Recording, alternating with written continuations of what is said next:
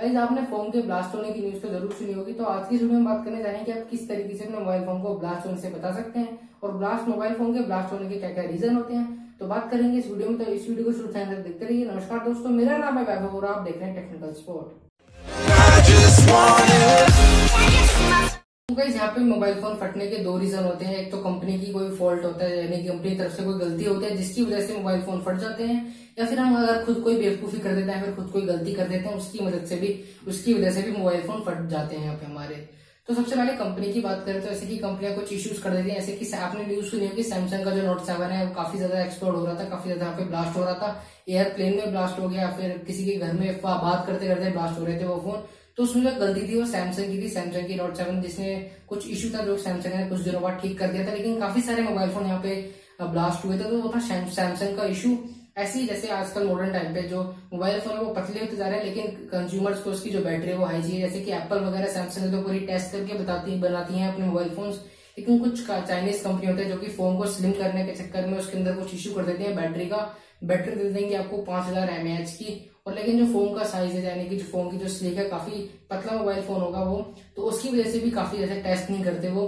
तो इसलिए फट जाता है। जैसे कि आपने देखा होगा कि एप्पल सिर्फ़ यहाँ पे छब्बीस सौ एमएच की बैटरी देता है तो उसके पीछे सिर्फ़ यही रीजन है, क्योंकि तो उन्हें मोबाइल फ़ोन को स्लीक भी करना है, और या फिर वो और मोबाइल चाइनीज़ की चाइनीज़ मोबाइल फ़ोन की तरह यहाँ पे बैटरी बढ़ा नहीं सकते, या फिर फ़ोन ब्लास्ट वगैरह हो जाए। तो ये होता है कुछ कंपनी की तरफ़ से इशू जैसे कि सॉफ्टवेयर या फिर मोबाइल फ़ोन की बैटरी को सीधा बढ़ाए जा रहे हैं। तो अब हम बात करते हैं कि मोबाइल फ़ोन के क्या रीजन है, जिसकी वजह से हमारी तरफ़ से जो मोबाइल फ़ोन है, फटता है। और इसमें आपको मिल जाएगा आंसर कि आप किस तरीके से अपने मोबाइल फ़ोन को बचा सकते हैं। तो सबसे पहले ओवर हीटिंग की जो मेन इशू है वो होता है ओवर हीटिंग जैसे हमारा फ़ोन काफ़ी ज़्यादा ओवर हीट हो जाता है तो उसकी वजह से जो हमारे फ़ोन की बैटरी है वो फट जाती है।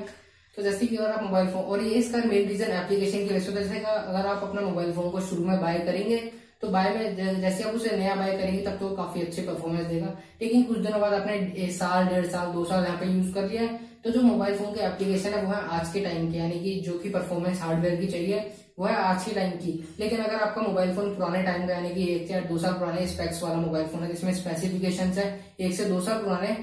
जहाँ पे जो ऐप आपके फ़ोन मोबाइल फ़ोन में यूज़ होंगे, वो काफ़ी हाई लेवल के होंगे तो इसकी वजह से आपका मोबाइल फ़ोन हीट हो जाएगा और बैटरी काफ़ी ज़्यादा कंज्यूम करेगा वो, क्योंकि सॉफ्टवेयर काफ़ी, इसका हार्डवेयर काफ़ी तेज़ी से काम करेगा। तो उसकी वजह से भी मोबाइल फ़ोन फट जाता है ओवर हीट के कारण। दूसरी बात की ओवर चार्जिंग जैसे आप, आपके मोबाइल फ़ोन में तो यहाँ पे मोबाइल फ़ोन जैसे हंड्रेड परसेंट तक होता है, उसके बाद चार्जिंग ऑटोमेटिकली कट ऑफ़ हो जाती है। लेकिन पहले मोबाइल फ़ोन के बाद वो फूल थी बैटरी फूल जाती थी, उसकी अगर हम चार्जिंग पे लगाए रखते थे तो ओवर चार्ज करते थे तो उसकी बैटरी फट जाती थी। तो एक ये भी रीजन रहता था। और दूसरी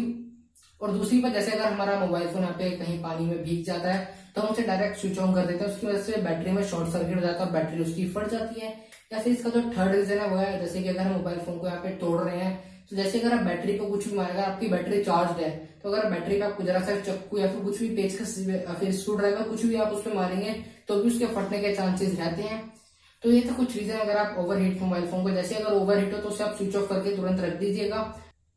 अगर आपका मोबाइल फ़ोन ओवर हीट हो रहा है तो आप उसका नेट वगैरह ऑफ़ कर दीजिए फिर ब्राइटनेस को लो कर दीजिए फिर फ़ोन को आधे घंटे के लिए बिना यूज़ मत कीजिएगा। तो जैसे आपका मोबाइल फ़ोन ठंडा जाए उसके बाद यूज़ कीजिए। तो यही थी कुछ स्टेप जैसे कि इसमें आपको मैंने बताया कुछ कंपनी का फॉल्ट था, जैसे कि सॉफ्टवेयर इशू था और सैमसंग की तरफ़ से फट रहे थे, या फिर आजकल के जो चाइनीज़ मोबाइल फ़ोन होते हैं, वो बैटरी उसमें बढ़ा देते हैं, पाँच हज़ार एमएच छह हज़ार एमएच कैपेसिटी उनकी होती नहीं।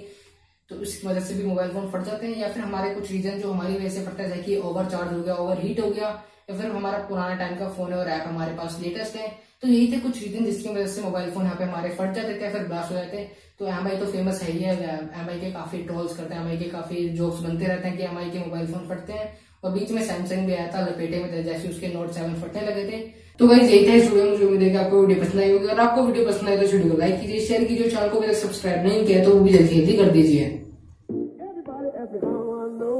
Smiled at them and said she told me so. Everybody asked me how I know. I smiled at them and said she told me so. Everybody asked me how